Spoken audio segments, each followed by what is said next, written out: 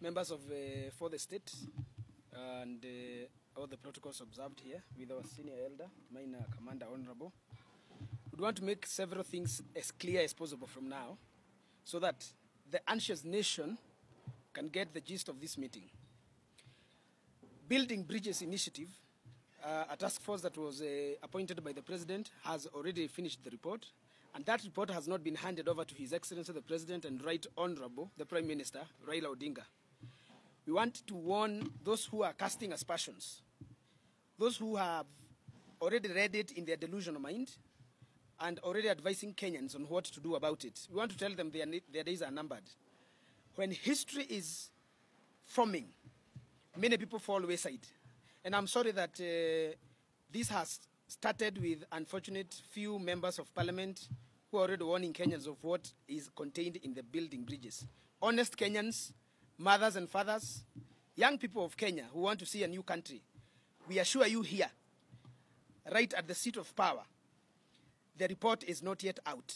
And the report will be released, launched in a grand plan where the president, the prime minister former, and all the leaders of this country shall gather and launch it for all to see. This report is not to be kept in the shelves. We as young people from uh, all political parties and caucuses, and especially our brothers from ODM here, we have decided to first deliver the seat of Kibra constituency to the candidate of hardship. And that candidate is none other but Bernard Otieno Okoth, who will be facing electorate on 7th of November. That is next week on Thursday. And we are urging all and sundry to support this cause because we have decided to soil our hands and we have gone straight into the constituency. We have been campaigning and we want to tell you that the state is strong. Kibra is already decided. We are waiting for the votes count. And Imran will win. That's the gist of our meeting here.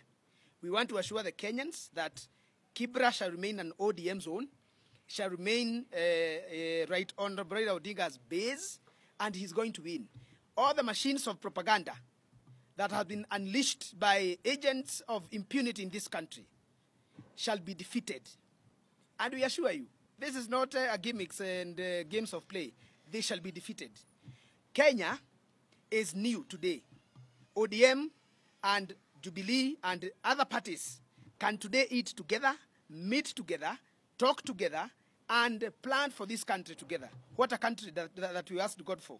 But there are few people who are not happy because the coming together of Right Honorable Raila Odinga and Uhuru Kenyatta has killed careers of tribal bigots.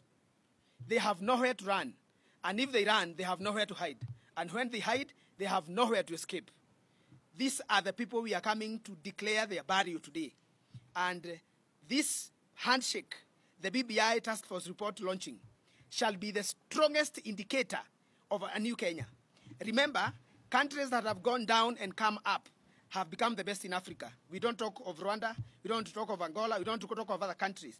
But Kenya is now going into rebirth. These young people here, as you see, guided by our fathers uh, politically, have learned the art of renewal. You would remember that when we were coming together last year, 2018, March 9th, they had a lot of acrimony. Bloodshed was not a new talk. And we had met together to wage war as young people. But they sat together, Raila Odinga and Uhuru Kenyatta, and they decided this must not happen.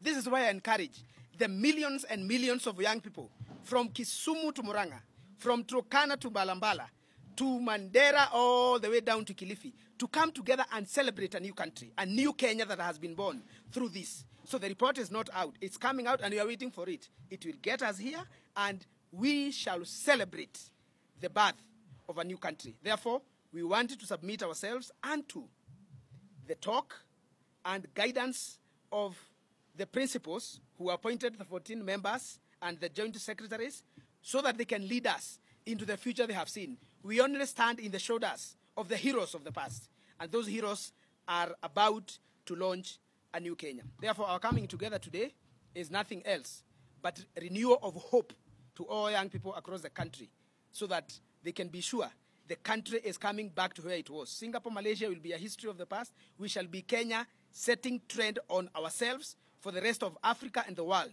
to learn. Therefore, members of the press, I want to thank you for coming here.